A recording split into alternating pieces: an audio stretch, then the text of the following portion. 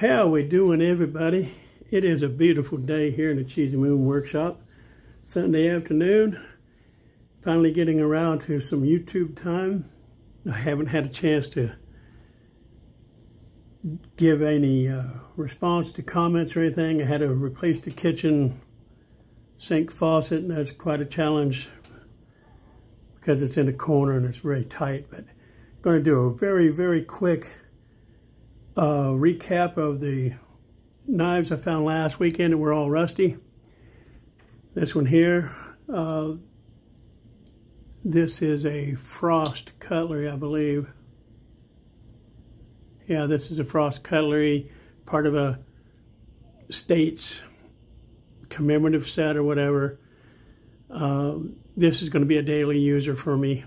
It'll go into my uh, pocket carry rotation good snap, decent knife. I mean, you know, for a frost, it's it's one of the better frosts that I've seen in, in a while. Um, and this hasn't been buffed and polished or anything. I just knocked the rust out of it. Same with this one here. This is a case. Congress has W.R. Case and Sons cutlery etched into the side of the handle. This was so rusty it would barely open. I've got a little bit of schmutz in here. Um, but that'll clean up. Uh, this is the preliminary, just derusting. I have still uh, to get them properly lubricated and sprayed out with the the air can. But look at there, in contrast to the rusty mess this was when I got it. I'm super happy. And of course the dog's going to bark. Okay, sorry about that. Monty had to answer the door, but yeah, this knife, um, I got to buff it out still, but it's a, uh, a good looking knife. And um, blades are in good shape. Just need a little touch up on the ceramic rod and we'll be good to go. The other one that uh, came out pretty nice was this Case Mini Trapper. It says congrats carved into the side of it. It's got a couple little scratches and nicks on it. But um, the walk and talk is very good. You got all the rust out of there. A little bit of buffing is still going to have a, a, nick in it. But uh, still a little bit of crud and rust down in the along the back springs there. But uh, I'll get that out. That's This was just the initial cleaning. These buck knives, this is the Buck Mini Trapper. Uh, there is no half stop. It's a Buck 382, but uh, it doesn't say Buck USA. Pretty sure it's Chinese made. So this will be one of the ones that goes in pocket rotation for, for daily use because, again, there's still a little crud down in there. They have to get a a brush and get it cleaned out.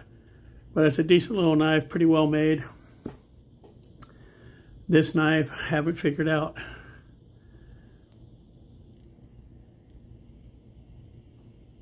I don't know who that is. I haven't I haven't even had a chance to look it up. It's been so busy around here.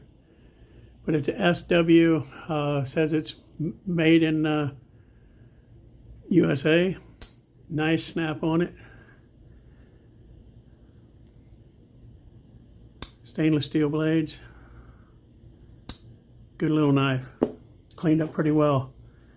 Uh, this knife here still got a little bit of work to do on this one here. It's a colonial.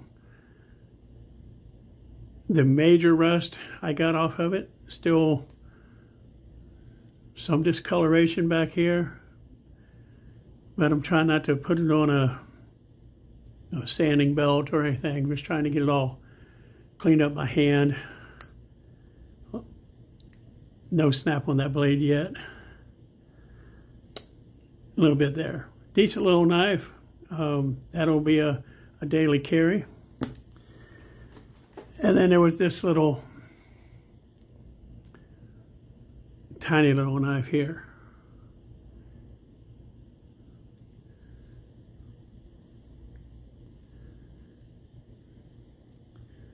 Another stainless Colonial, Providence, USA.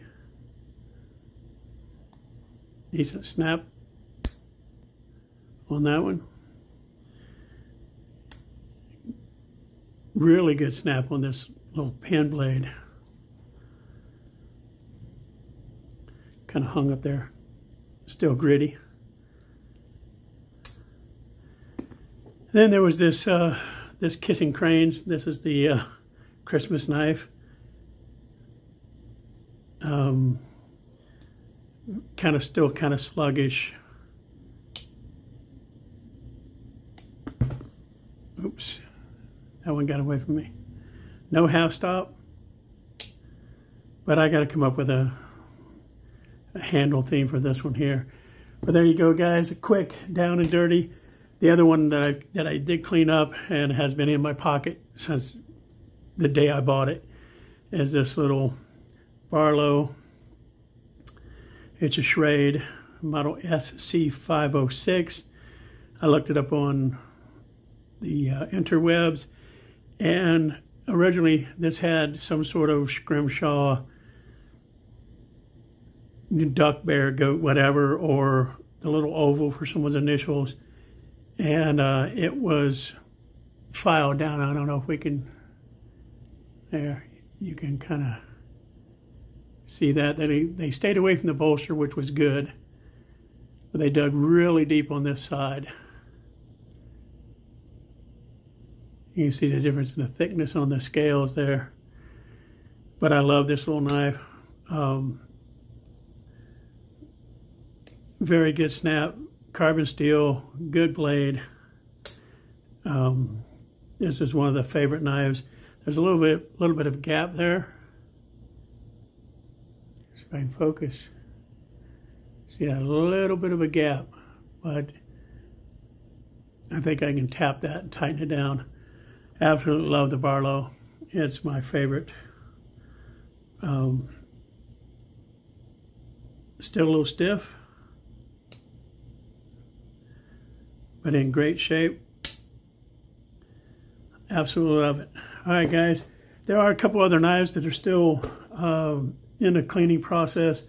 These are just preliminarily cleaned to get the rust and everything off of them. Um, I'm going to do some buffing and shining and and further lubricating. But the two case knives, they come out fantastic. The rest of these knives are just good, solid pocket knives that can be carried or put in rotation. I'm, I'm probably going to carry this uh, this knockoff, or not. I'm not sorry. No, I don't mean to say knockoff. This China-made buck. I'll probably carry that a like because I I like the the mini trapper. Um, so there we go, guys. Quick recap more to come, more on these particular knives to come. And so until I see you again, please remember to like, subscribe, hit the notification bell, share the video, and until I see you again, have a beautiful day. I'm sorry, I'm back. I left one out. This little knife here is indeed a Boker USA. This was super rusty. I still have a lot to go on this one. But I got some snapback in it. And uh, as you can see down there on the tang, still, still rusty. Uh, thick, you can feel it type rust. But I did get it to work. And uh, old uh, Kevin, a knife doctor, he he likes to put um, nine millimeter shell caps on uh, on the bigger knives. I'm wondering maybe if a 22 primer will fit in there. But I'll just have to play around and find out. But again, I got the snap back and uh, half stop working just fine. Just got a little, a little bit more rust. And this, for sure, I mean, I, I like the big knives, I like the Barlows, but these little knives here, super handy to drop in your pocket. They don't take a lot of room. And uh, once I get the rest of that rust off, those brass liners are going to pop. And this is going to be a sweet little knife. Again, I'm trying not to take, you know, to the belt sander or grinding wheel. I want to keep just rubbing away at this rust. I'm going to get it cleaned up. There we go. False ending last time. Until I see you all again, have a beautiful day.